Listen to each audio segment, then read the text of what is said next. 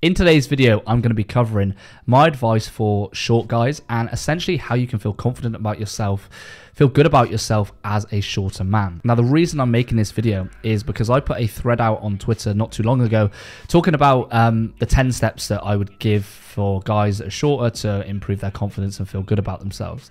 And it got some good feedback too from, from guys that are on Twitter and things like that. And I feel like it's a very popular topic, especially in the space, and something that I want to cover in more depth on this video. Now, for a bit of background, I'm five foot seven and I live in the UK, the Western world. So, for the environment that I live in, you could say five foot seven is quite short. Okay, I know if you live in Latin America or no, you live in Asia, then I would be considered tall. You know, I get that uh, right, but I don't. So, um, guys that are around my height or shorter, you know, you may feel certain insecurity for being short. Okay, and this is exactly how I felt when I was in my early 20s and kind of my my late teens. Okay, um, I felt like because I was on the shorter side, I just wasn't confident enough to date the girls I wanted. I wasn't confident enough to build the network I wanted, and I just didn't feel good about myself. Which, when you don't feel good about yourself, that has a negative impact on you know the rest of your life. Now, for the last five years, I've actually kind of changed the way I look at things, developed a lot of other areas of my life, and as the same five foot seven guy, I've been able to build a successful business. I've been able to date girls of much higher quality and girls that are actually taller than me as well, and build a great network of friends and people um, through my networks. Right. So I want to talk today about the, a little bit into those 10 steps and um, you know how you can actually feel good about yourself as a shorter guy as a short guy himself that has been through the insecurities and the negative emotions and feelings that um, have happened. The first thing that we need to to focus on is to accept what you cannot change. Okay, this is vital because unless you're getting your kneecaps done, unless you're getting your torso extended, okay, you're never going to be taller and you're never going to be bigger. Okay, you're not going to be six foot, you're not going to be six three.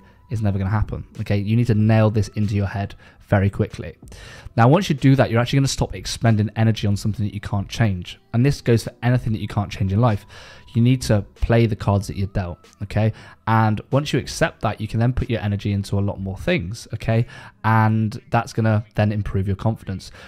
When you don't own it and you don't accept it, what happens is you are carrying like a weight on your shoulder in which you know you feel you can't get rid of and this weighs you down for everything that you do your interactions you, that you have with people and things like that.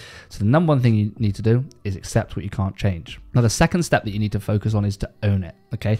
You need to own the fact that you are the height that you are whether that be 5'3 5'4 5'7 whatever it is.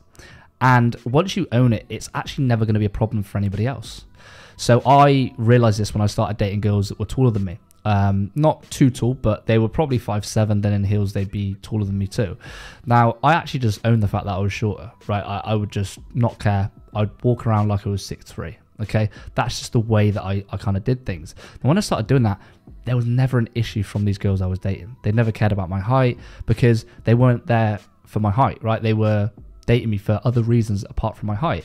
And that's the thing that you need to remember is there's so much more to you than just the height. And when you don't care about it, funnily enough, other people don't give a shit as well. Okay. So it only becomes an issue if you think it's an issue. So you need to own it, and that's going to remove a lot of the problems that you have. Now, the third thing that you really need to focus on, and my advice would be, is to get in shape. Okay. If you can't be longer than other people, you can be wider, you can be more muscular, and things like that. And if you follow me for a while, you know this is something that I've been building for years, right? For the past 10 years, I've been building my physique. A good physique, it shows discipline, it shows dedication, okay? And you know, it puts a lot of other people to shame, right? If you're in shape and other people aren't, that's your advantage. So if you can't, you know, be tall, you can be wide and you can be strong and you can be physically attractive. And people will always respect you for that, okay? No matter how tall you are, they will always respect you for being in good shape. And another bit that I want to add to this is actually learn a combat sport as well. Okay, this is great because not only can you be in great shape, but if you know how to defend yourself, you know how to fight, and you kind of have that, you know, animalistic side to you as a shorter guy, people aren't going to want to mess with you, man. And again, it adds to the respect that you have. So, you know, take up a boxing class, do Krav Maga, uh, kickboxing, whatever it is, and learn to be hard to kill as well and, and be physically competent in both a strength aspect but also from a fighting aspect too if you can do both of those things that's really going to boost your confidence in who you are and gain respect from other people now the next thing you need to focus on is your dress sense okay and to dress well So there's no excuse as a shorter guy to be dressed really badly, okay? Actually, as any guy, there's no excuse, okay? You need to ensure that you're wearing like fitted clothes and things like that. Make sure that outfits on your color match and get to the point where you have kind of your own style, okay? Like for me, you probably seen in my videos, I like to wear floral and like these loud shirts, okay? Because it's the style that I choose to adopt. And again, I own that style, and that's what I feel is what I enjoy. So, you know, you don't have to always wear designer clothes, you don't have to splash out on really expensive labels, okay? Can do if you want to, right? But, you know, just make sure the clothes are of high quality, they're fitted, the colors match, um, and they complement you know your your body type right? And as a shorter guy oversized and baggy stuff just really isn't going to work in my opinion. Um, you need the stuff that's tailored that's fitted and things like that um, because that's really going to suit kind of your body type and who you are now, the next thing that you need to focus on is to fix your posture, okay? I see a lot of guys walking around like this, okay, like hunched over, shoulders rounded, and things like that. Well, if you've only got five foot seven of height, if you're crunching over, you're losing, you know, a few inches already, okay? So you're making yourself shorter. So just literally standing up with your chest poked out, head held high, and things like that, that's straight away going to make you look taller and more dominant, okay? And if you look at some of the shorter guys that you know walk around like this, you see people like Tom Cruise. Um, you know, Conor McGregor's a great example how he walks with that you know, that funny walk with his chest out and things like that. He walks around like he's six six, okay, because he walks with the right posture, and this is automatically going to make you feel more confident, more dominant, and things like that. Now, the next thing you need to focus on is to increase your income, okay, and increase the amount that you earn. Now, a lot of people that say, "Oh, money's evil," like people are like you for money bullshit, right?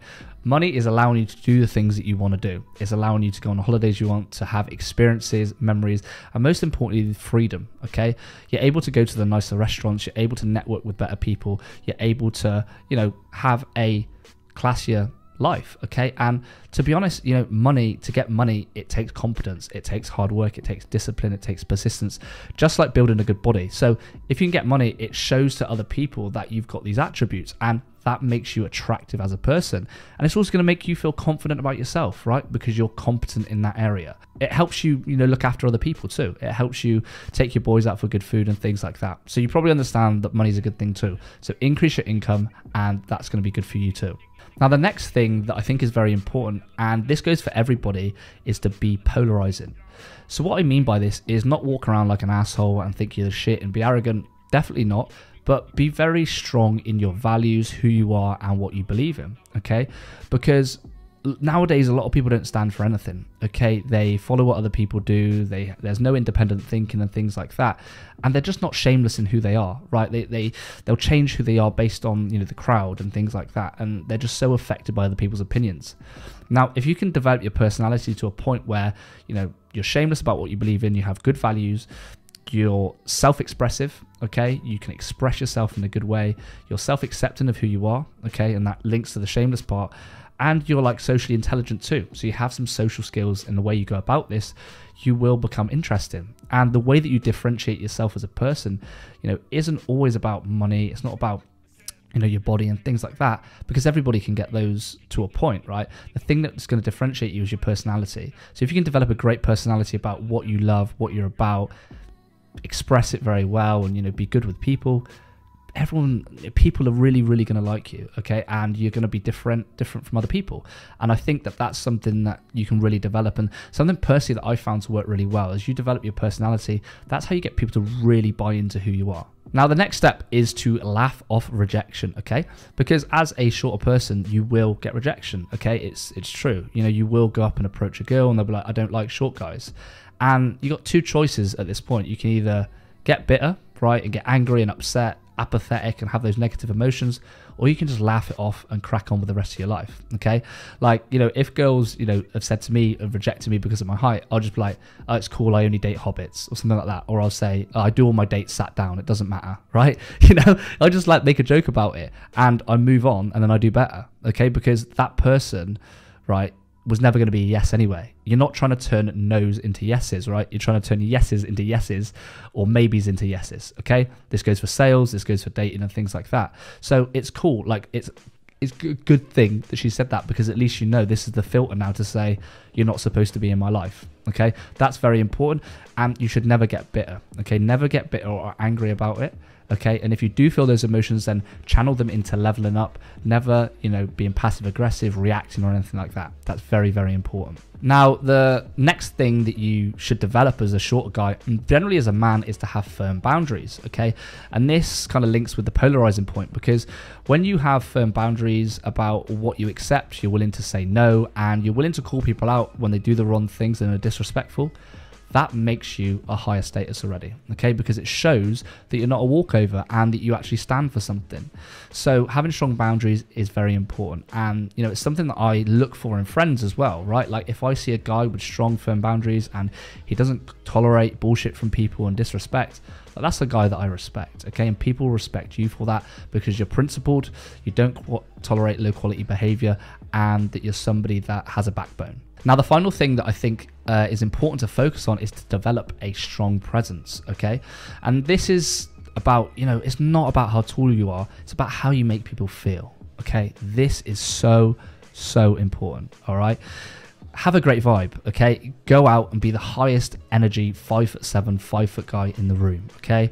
Walk in with your chest out, smile, make eye contact, and when you speak to people, give them your full attention. Okay, give them your full attention, look them in the eye, and be genuinely interested in who they are. Okay.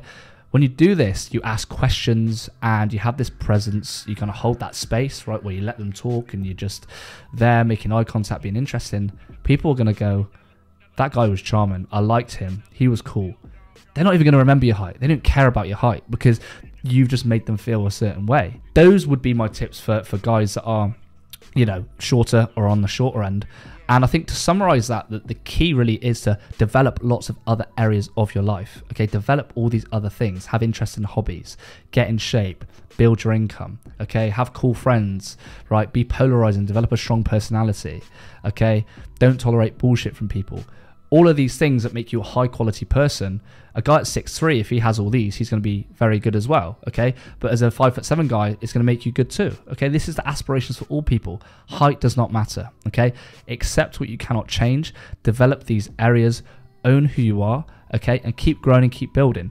And you will get to the point, I guarantee, where height doesn't matter. And I'm slowly starting to realize this now from learning all these lessons that I can get whatever I want as a shorter guy and it's not a disadvantage to be five foot seven. Okay, so I hope this was useful for you guys that are, are listening. And you know, like I said, I, I, struggled with this for a long time, and only kind of you know, like I said, in the past few years, it's, it's really developed into a thing where you know I don't see it as a disadvantage.